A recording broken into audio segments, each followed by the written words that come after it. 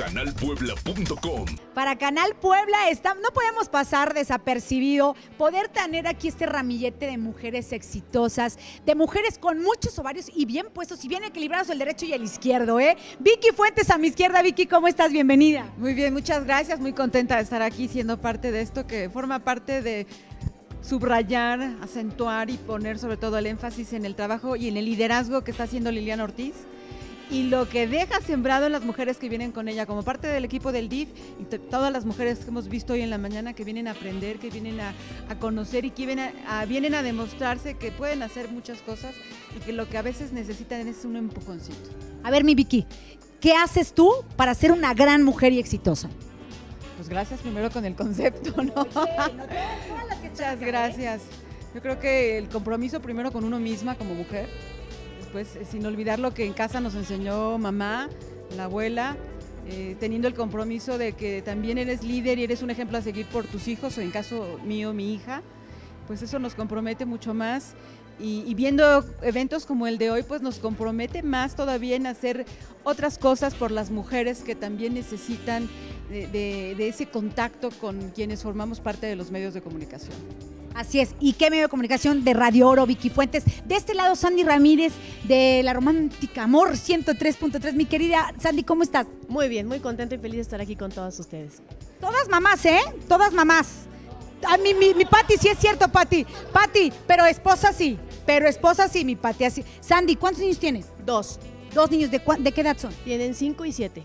¿Cómo le haces todos los días para contagiar a la gente con ese entusiasmo, con esas ganas y con esa pasión que tienes por el radio?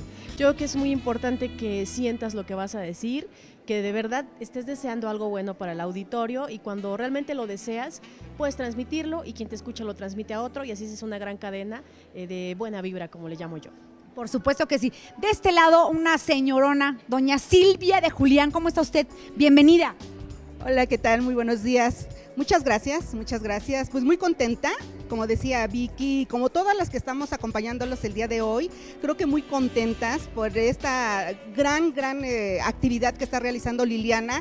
De por sí, desde un inicio que tuve la oportunidad de entrevistarla en el programa, hubo una química muy importante, ¿no? Que eso también no es fácil luego darse con funcionarios. Pero Lili es una persona muy apasionada con lo que hace y esto lo demuestra, decía en sus palabras que dirigía a las mujeres que hoy presentaron este desfile, de que son 7 mil las mujeres que han pasado en estas aulas, lo cual lo ha demostrado muy bien su liderazgo, como decía Vicky. Y bueno, pues nosotros nos sentimos muy satisfechas el hecho de que nos haya invitado a participar en esta labor tan importante que necesitan las mujeres. Oportunidades, oportunidades de capacitarse para crecer, para ser mejores, no solamente como personas, sino también como emprendedoras. Y creo que todas estas 7 mil mujeres que tomaron estos cursos, que hoy nos hicieron una demostración del decorado de zapatos, de la bisutería, de las chalinas tan hermosas o rebozos, como decías, ¿no? La verdad, sensacional. Creo que ellas hoy ya tienen un paso hacia adelante de otras mujeres que no tienen esa gran oportunidad porque también no se han dado esa oportunidad. Nosotras mismas tenemos que generar esas oportunidades. No nos podemos quedar nada más en casa. Efectivamente, eh, en mi caso, pues tengo dos hijos, ya no son tan pequeños, pero este, creo que todos, todos tenemos que poner nuestro granito de arena para ser mejores, para tener una mejor familia, para crecer como seres humanos principalmente y seguir siendo las mujeres, pues hay que ir adelante, un paso adelante. Ay, pues claro que ser mujer, eso, ser mujer, ¿no? Porque ser mujer es ser madre, ser mujer es ser amiga, hermana, em, hija, hija, porque también este, pues nuestras madres son un ejemplo, que no, tampoco nos cortaron las alas para salir adelante. Y bueno, el periodismo, ¿no? El periodismo es mi pasión, ya hace muchos años. Eh, incluso lo hemos platicado en casa, que a veces ya es tiempo de dejar también el periodismo, ya son muchos años, Patti lo sabe también, fuimos compañeras y ustedes, pero el periodismo es mi pasión. Entonces, no te puedo decir que es una, una sola cosa porque todo es un vivir. Vivir creo que es lo más lindo y hay que vivir cada día como si fuera el último. La verdad, no, no, no te podría decir una cosa, esto me apasiona por ser mujer.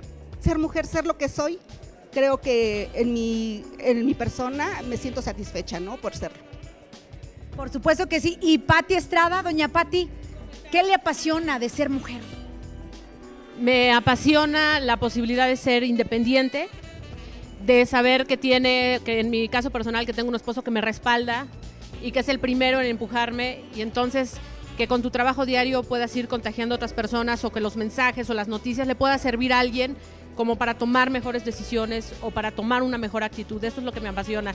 Y sobre lo que estamos hoy platicando, de veras un reconocimiento a Liliana, porque además, a diferencia de, otras presidentas de, también de organismos DIF, ellas no reciben un sueldo, entonces lo que hacen es verdaderamente de corazón y lo que tiene Liliana es la emoción que le ha impreso estos proyectos. Y felicidades por estos porque las mujeres les da mayor autoestima, mayor independencia y les permite demostrarse ellas mismas que pueden superar cualquier situación, por muy complicada que sea.